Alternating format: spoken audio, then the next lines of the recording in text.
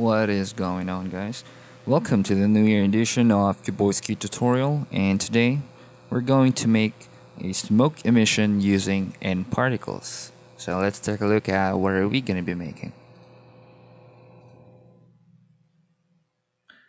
Okay, so what we have here is a simple SIBL environment or background, a rocket, simple model rocket, and then the N particles, the smoke emission that we're about to make.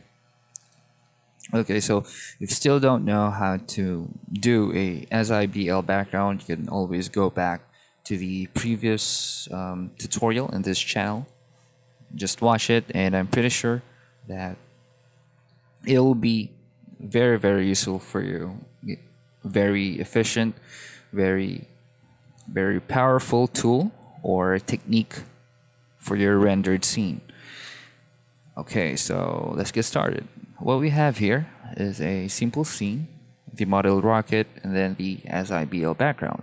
So first what we're gonna have to do is to create a simple emitter. There we go. And then let's bring this up. Let's close this one and then let's press play. So by default, the emitter is emitting particles in an omni type. So let's go back to our attribute editor. So emitter type omni, let's change that to directional. Rate particles per second. Let's change that to 350. And then the direction, the axis. So let's change this. So let's change this to negative y, negative 1 rather because um, we want our smoke to uh, to pointing downwards. And then the speed let's change this to 3.5 and then the spread let's change this over to 250 okay. That looks good. And then let's get over to our N particles shape 1 for the lifespan let's change this to constant. Change this to 10 and for the radius let's try 0.6 and then for the radius scale okay. So let's drag this one. And then let's make another one so that it will have a not so perfectly uh, cone shape, but, but but good enough to look good, or good enough to uh, to look as smoke emission as possible.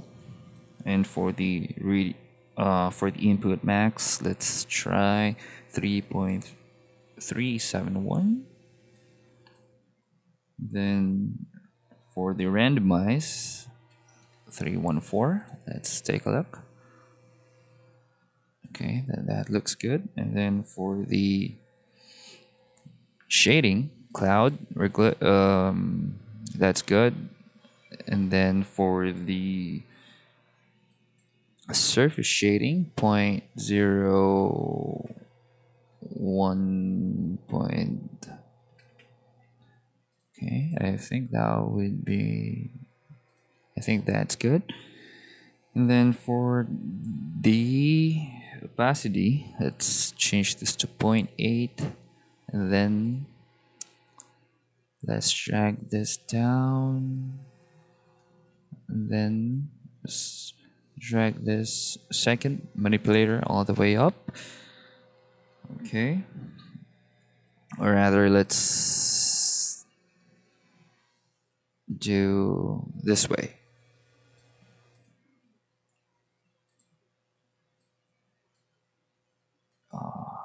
There you go. And then uh, for the color, let's change this white or let's add some yellow. Yellow color. Not that bright, but um, a pale one. And then let's add some red color.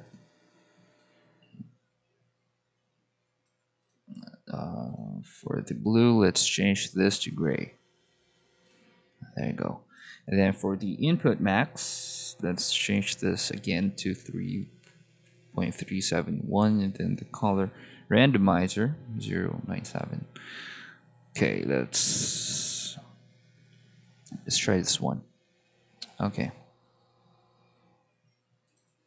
Okay, I think that's all we need right now. Okay, the next, let's get our emitter and then we're gonna have to attach this using parent. Okay, let's try to center this as much as possible. Okay, and then press P for parent, and then okay. All we need to do is to animate our model. So let's say is gonna go up. There you go. And then let's try to render this out. So animate it now. Okay, there you go. So the very technique that I use to create this illusion is that the SIBL has its own uh, lighting, uh, directional lighting, so that um, our smoke emission will have its own or shadow. So that's the very technique that we used. So that's about it. Um, I hope you learned something, and uh, I hope you enjoyed watching this as much as I do. And uh, thank you for watching. Happy New Year. Bye.